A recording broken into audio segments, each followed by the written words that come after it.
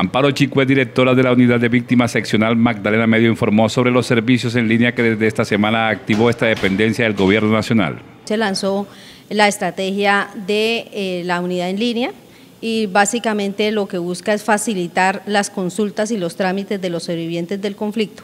Eso es básicamente lo que busca hoy la estrategia. Hoy la, la iniciamos en los 10 puntos de atención que corresponden aquí a la territorial Magdalena Medio. ¿Qué busca? Eh, obvio los trámites y las consultas y busca descongestionar los puntos y los centros. ¿Por qué? Porque la mm, afluencia de víctimas a los puntos y a los centros regionales es precisamente por esas tres consultas. Averiguar si están en el registro único de víctimas, averiguar sobre, sobre la situación de la atención humanitaria y también solicitar ayuda humanitaria. Entonces, con esto pueden eh, consultar en cualquier eh, tablet, celular, computador y creo que obviamente va a descongestionar los puntos. Con los tres servicios que de forma virtual ahora se ofrecen por parte de la unidad de víctimas, se busca que esta población vulnerable tenga un mayor acceso a la información que requieren. Primero es una aplicación que busca que las víctimas eh, estén muy acorde a las nuevas tecnologías, que eso es fundamental.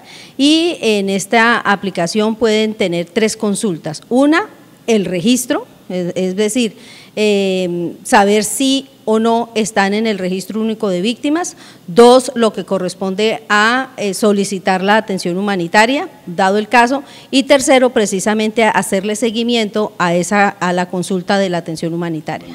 Para la directora Chicuez espera que con esta atención en línea se descongestionen dependencias como el CRAIF, donde las víctimas acuden de forma masiva para solicitar información.